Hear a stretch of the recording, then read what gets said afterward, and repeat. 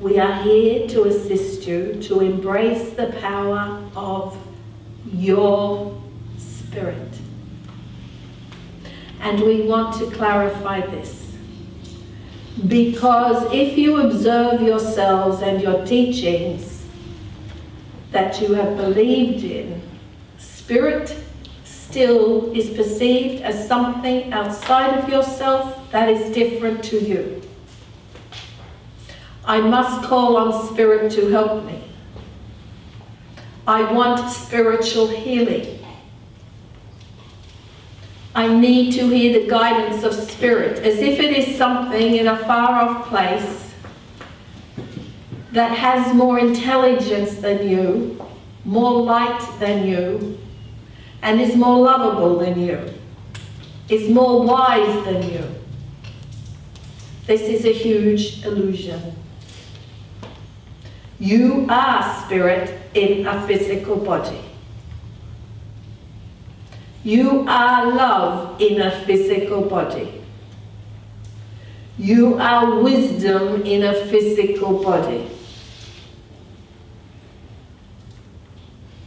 You are eternal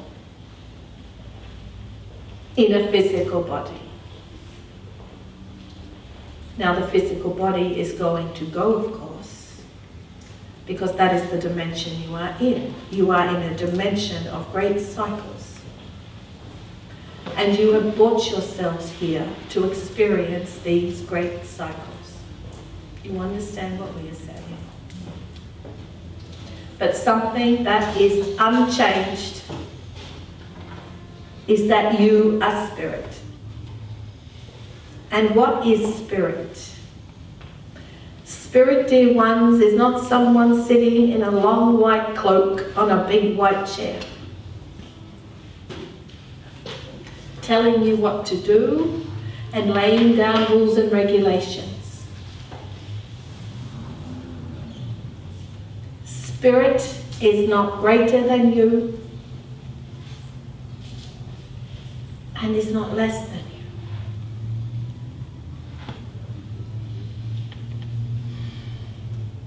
Spirit is your heart.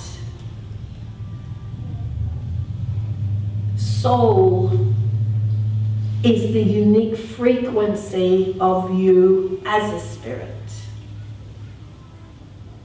But everything comes from spirit and everything returns to spirit.